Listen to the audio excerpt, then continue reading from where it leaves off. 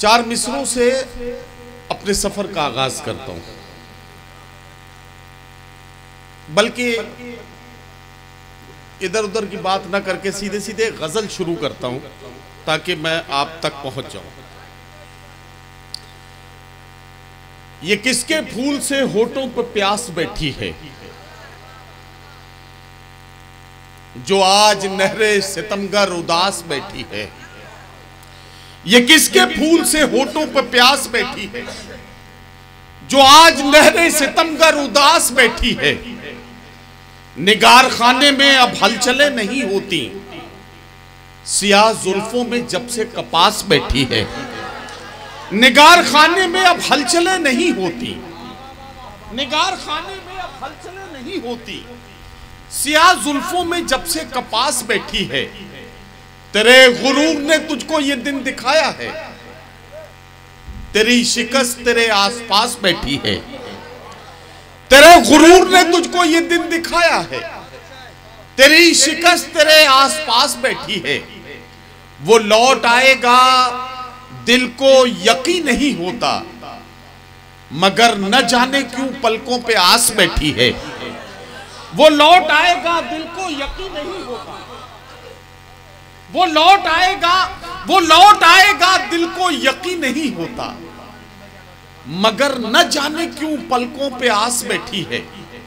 मगर न जाने क्यों पलकों पे आस बैठी है। और ये शेर भी सुन लें कि हम ही हैं, मीर के वारिस ये कौन मानेगा? हम ही है, हम ही है, मीर के वारिस ये कौन मानेगा? हमारे घर में गज़ल बेलिबास बैठी है। हम ही है मीर के वारिस, ये कौन मानेगा? हम ही है मीर के वारिस, ये कौन मानेगा? हमारे घर में गज़ल बेलिबास बैठी है। हमारे घर में गज़ल बेलिबास बैठी है। और मिटा न दे कहीं शादाबियाँ गुलाबों की, जो तेरे लॉन में जहरीली घास बैठी है। मिटा न दे कहीं शादाबियाँ गुलाबों की, जो तेरे लॉन में जहरीली घास बैठी है। इजाज़त दें तो एक गज़ल के चंद शेर और हाजिर करूँ और मैं समझता हूँ कि एक गज़ल का मतलब पेश करता हूँ और तीन शेर उस गज़ल के बस आपकी खिदमत में मुझे पेश करना है। वो शख्स बामल था मगर जिद पाड़ गया। वो शख्स बामल था, मगर जिद पाड़ गया। अपनों से दूर होके मुसीबत में पड़ गया। वो शख्स बामल था, मगर जिद पाड़ गया। अपनों से दूर होके मुसीबत में पड़ गया।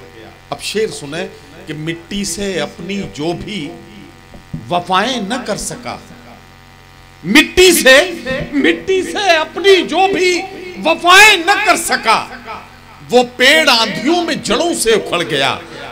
मिट्टी से अपनी जो भी वफाएँ न कर सका वो पेड़ आंधियों में जड़ों से उखड़ गया। और तुलसीपुर के अच्छे लोगों ये शेर तोहफे के तौर पे पेश करता हूँ। मिट्टी से अपनी जो भी वफाएँ न कर सका वो पेड़ आंधियों में जड़ों से उखड़ गया। उसने भी सबके साथ मेरी की मुखालिफत। उसने भी उसने भी सबके साथ मेरी की मुखालिफत। जिसके लिए मैं सारे जमाने से लड़ गया। उसने भी सबके साथ मेरी की मुखालिफत।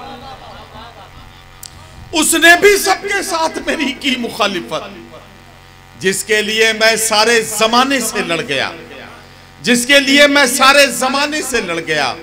और ये शेर कि जिस दिन मेरे उरूज की उसने खबर सुनी, उस दिन से उसका जहनी तवाजुन बिगड़ गया। जिस दिन मेरे उरूज की उसने खबर सुनी, उस दिन से उसका जहनी तवाजुन बिगड़ गया। हजरात गिरामी, आपका बहुत शुक्रिया।